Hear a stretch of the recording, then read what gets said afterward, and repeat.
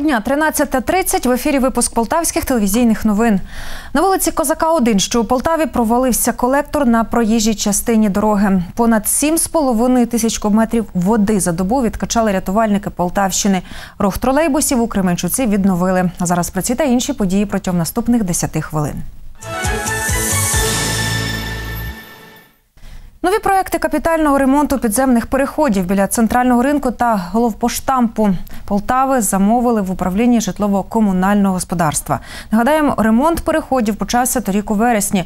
Нині роботу ніхто не продовжує. У січні цього року правоохоронці почали досудове розслідування у кримінальному провадженні щодо ремонтних робіт двох підземних переходів. Яка вартість нової проектної документації? Дивіться далі у сюжеті. Торік у жовтні полтавка Галина Осадча травмувалася у підземному переході біля головпоштамту. Галина каже, сходинки обгородили, залишили вузький прохід. Йдучи ним, жінка не помітила зламану сходинку. Я на нее стала и упала, а здесь еще Я на неї стала і впала, а тут ще лежала плита. Я об плиту вдарилася обличчям, дуже сильно вдарилася. У мене був подвійний відкритий перелом носу і перелом плечового суглобу. І перелом плечового плечевого сустава. Галина Осадча говорить, травмоване плече болить й досі. У листопаді 2017-го жінка звернулася до Полтавської міської ради за компенсацією витрачених коштів на лікування.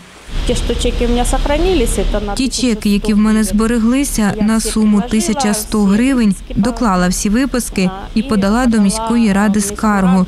Рівно через місяць мені прийшла відповідь, що допомогти мені не можуть, так як у бюджеті немає засобів. Тому що в бюджеті немає средств. За інформацією сайту публічних закупівель Прозоро у серпні 2017-го управління житлово-комунального господарства перерахувало товариству Технохолдинг майже 834 тисячі гривень. Ці кошти мали піти на капітальний ремонт підземних переходів біля головпоштамту та центрального ринку. Пізніше установа уклала договір з іншим підприємством «Інтехсервіс». Йому на ремонт перерахували майже мільйон 290 тисяч гривень. У лютому суд розглянув клопотання правоохоронців щодо тимчасового доступу до документів публічних закупівель ремонту двох підземок у Полтаві. Досудовим розслідуванням встановили службові особи управління житлово-комунального господарства виконкому Полтавської міської ради, діючи за попередньою домовленістю із службовими особами ТОВ «Інтехсервіс» та ТОВ «Технохолдинг», зловживаючи своїм службовим становищем, заволоділи коштами місцевого бюджету. Шляхом внесення недостовірних відомостей до актів виконаних робіт щодо обсягів робіт, які завищені та частково не виконані по об'єктах. Капітальний ремонт підземного переходу на перехресті вулиць Соборності із Кільцем та вулицею 1100-річчя Полтави у місті Полтава, і капітальний ремонт підземного переходу на перехресті вулиць Шевченка та вулиць Європейська у місті Полтава. Через необґрунтованість клопотання суд відмовив правоохоронцям у тимчасовому доступі до докладної інформації про закупівлі. По телефону заступник міського голови з питань житлово-комунального господарства Андрій Лямін розповів, розробляють нові проекти реконструкції двох підземних переходів у центрі Полтави. Зараз закінчуються м, роботи по проєктуванню. На початку цього року була замовлена е, тендерна, не тендерна документація, а проєкт. Після того, як проєкт вийде з експертизи, пройде експертизу, одразу буде замовник замовляти, виставляти на прозори проводить про- тендер. На сайті публічних закупівель Прозоро вказана очікувана вартість проєктів капітального ремонту двох підземок. Зокрема, 351 тисяча гривень коштує проєкт реконструкції переходу на перетині вулиць Шевченка та Європейської та 342 тисячі гривень ціна проєкту капітального ремонту підземки на перехресті вулиць Соборності з кільцем та 1100-річчя Полтави. Ольга Гриненко, Богдан Казиріт, Полтавські телевізійні новини. І до подій на сході України за минулу добу бойовики у районі проведення антитерористичної операції 54 рази відкривали вогонь по українських позиціях. У результаті обстрілу жоден боєць збройних сил України не постраждав. Повідомив речник АТО Олег Сушинський. Зокрема, на Донецькому напрямку із забороненої 122-мм артилерії противник вів вогонь по наших позиціях в Широкіному. А 120 та 82 мм мінометів, гранатометів, великокаліберних кулеметів та озброєння бойової машини піхоти по укріпленнях поблизу Павлополя та Гнутового. Також 82-мм міномети ворог застосував поблизу Водяного та Пісків з гранатометів різних систем. Обстріляні захисники Авдіївки, Новотроїцького, Опитного, Кам'янки, Широкиного, Талаківки та Пісків. Крім цього, вогонь з великокаліберних кулеметів вівся по наших укріпленнях неподалік Мар'їнки, а стрілецької зброї в районі шахти Бутівка та Новомихайлівки. Сьогодні на вулиці Козака 1, що у Полтаві, провалився колектор на проїжджій частині дороги. Провалля має глибину у кілька метрів. Внизу ями видно, як тече каналізація.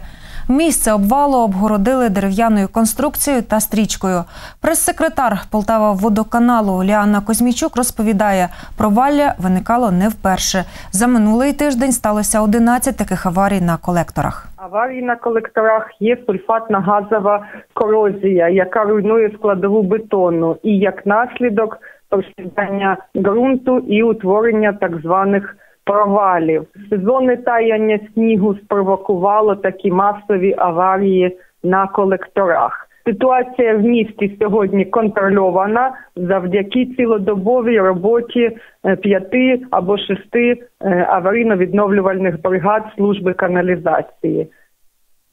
Рух тролейбусів у Кременчуці відновили. Вони розпочали працювати за графіками на усіх маршрутах. Про це повідомив міський голова Віталій Малецький сьогодні на сесії міськради. Нагадаю, учора, 28 березня, тролейбуси припинили роботу. Місцева філія Полтава Обленерго знеструмила Кременчуцьке тролейбусне управління. Прес-секретар Полтава Обленерго розповіла, офіційну позицію оприлюднили на сайті акціонерного товариства. Таке рішення прийняли через порушення умов договору, відсутність попередньої оплати за квітень. Міський голова Кременчука Віталій Малецький рішення Полтава Обленерго назвав незаконним. І до інших тем.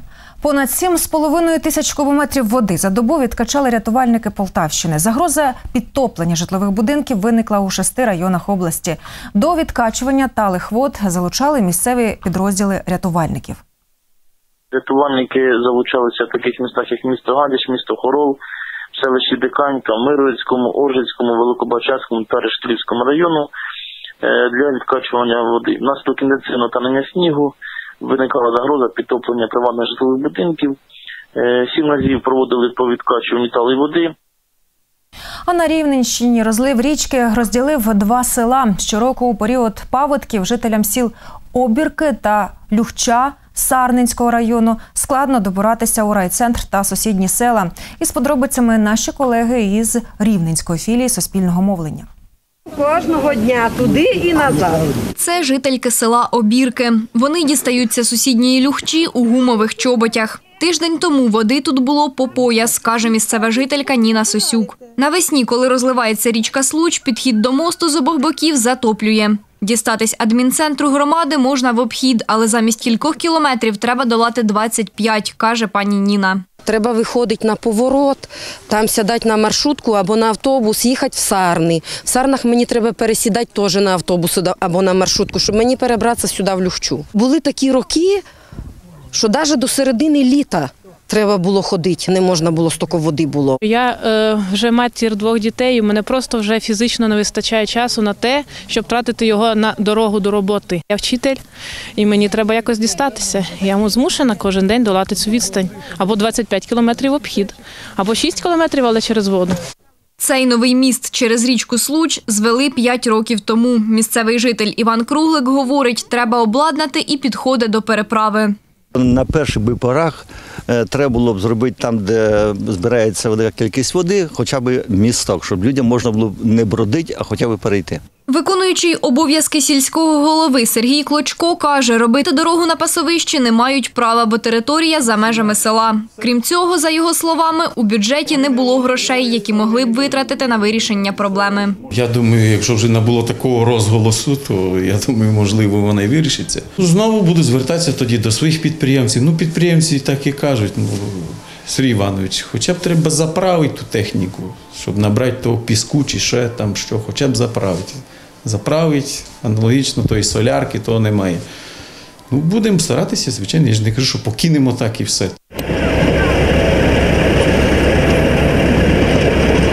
Відтак до мосту через Случ людей доправляють лише за потреби, говорить місцевий житель Іван. Нині далі мосту трактор не пускають. Там ти не проїдеш зараз, бо ж річка розливалася, там льодом закритися. Іван Марчук, Микола Штемпель та Лілія Пархоменко для полтавських телевізійних новин. Випуск новин завершено. Дякую за увагу. Стежте за новинами на нашому каналі або на сторінках у соцмережах.